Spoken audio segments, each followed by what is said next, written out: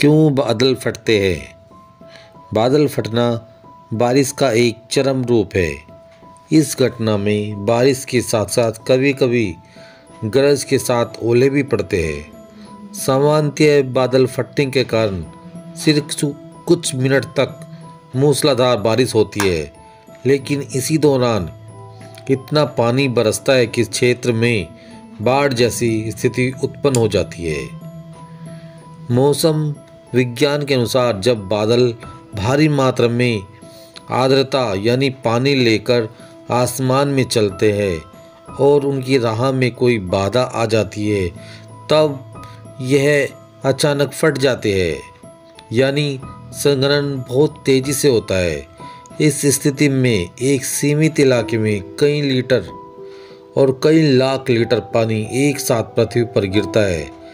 जिसके कारण उस क्षेत्र में तेज बहाव वाली बाढ़ आ जाती है।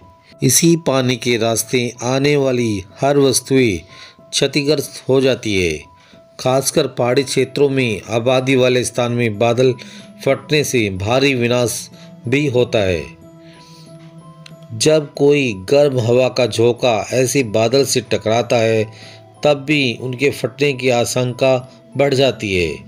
उदाहरण के तौर पर 26 जुलाई 2005 को मुंबई में बादल फटे थे।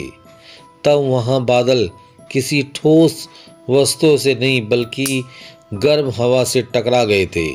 इसी वजह से वे फट गई बादल फटने का मतलब ये नहीं होता कि बादल के टुकड़े टुकड़े हो गए हो। मौसम विज्ञान के अनुसार जब एक जगह पर अचानक एक साथ भारी बारिश हो जाए तो उसे बादल फटना कहते हैं।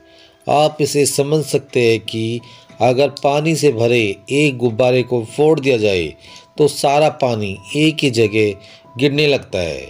ठीक वैसे ही बादल फटने से, पानी से भरे बादल की बूंदें तेज़ी से अचानक ज़मीन पर गिरती हैं। इसे फ्लैश, फ्लड या क्लाउड ब्लास्ट भी कहते हैं। अचानक से फटकर बारिश करने वाले बादलों का समूह, जिसे क्लाउड भी कहते हैं।